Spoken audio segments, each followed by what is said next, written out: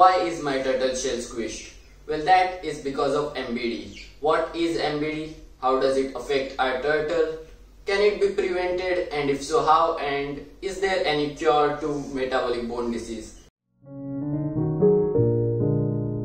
So as you can see many turtles have this squished shell and the reason many times for that is metabolic bone disease that is MBD. MBD stands for metabolic bone disease. It happens in not only turtles but tortoises and all reptiles and even humans so it is very very common.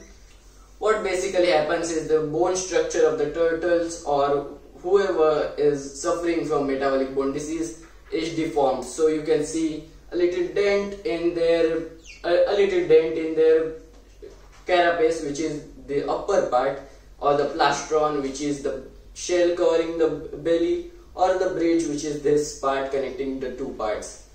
Well on this turtle which is Pteramai red-eared slider female uh, the dent is not very prominent but if you look closely you can see that it's it's a little uh, there is a little dent over here it's not perfectly round as it should be but on my other turtle that is Sheldon that is Sheldon who is my other female uh, the dent is very much more prominent. You can clearly see a dent on on her carapace which is the top part of the shell.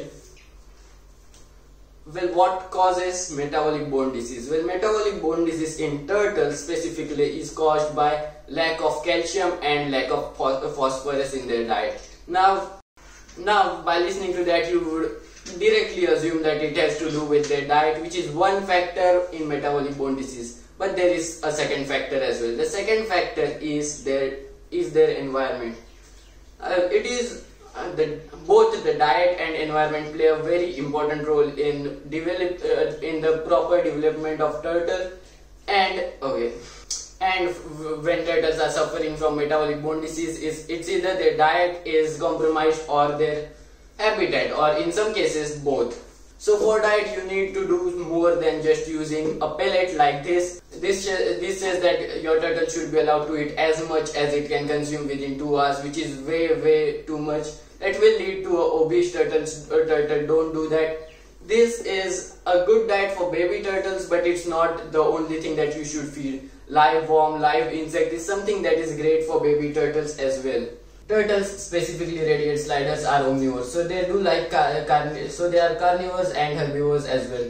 But for younger turtles which is hatchlings that you usually will get at the pet shop you should feed more of worms more of protein rich food like uh, mealworms earthworms those are the things that they they really require for a proper growth. Whereas when they are adults like this this is an adult turtle. This is how big adults get by the way so for adult turtle more of uh, greens should be introduced in their diet so you have to so you have to give your turtle more than just these things which are pellets which are great for young turtles but they should have a varied diet for calcium, for calcium what you can use is sprinkle their food with uh, calcium powder. I made a video on how to make calcium powder.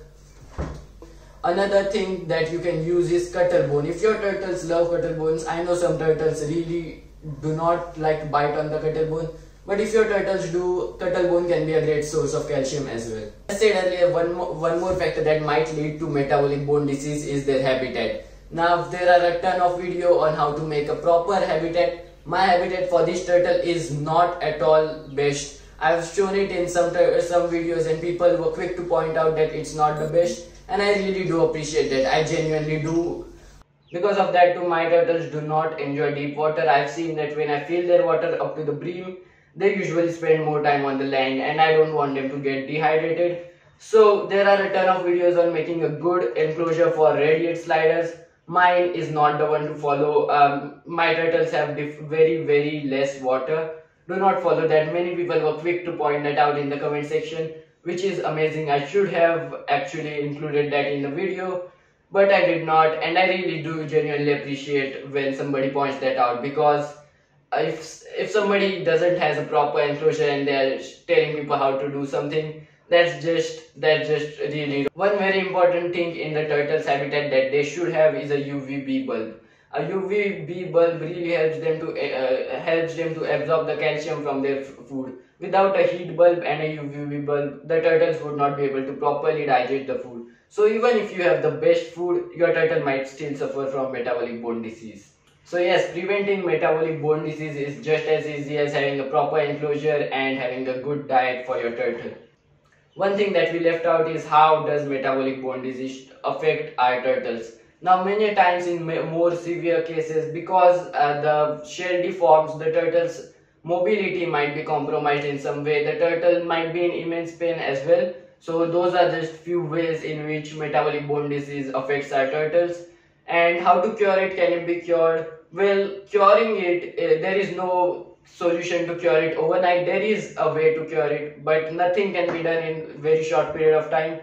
The the treatment of metabolic bone disease is much more, it takes much more longer time than just a few days. So for mild cases like this one, like my turtle, or some medium cases like my other turtle, uh, it's uh, metabolic bone disease can be cured through proper diet and having a proper environment. Slowly, I've seen that over the time since I have a great, uh, better enclosure now, uh, the turtle's shell has shell, the quality of shell is better and the turtle shell are is getting better day by day. Uh, it's getting much more rounded. The dent seems to be disappearing. For more severe cases, uh, just doing this may or may not be effective. So yes, that was all I know about one of the things and one of the most common things that can affect your turtle. Hope you guys learned something new and did enjoy the video. Thank you guys. Thanks for watching.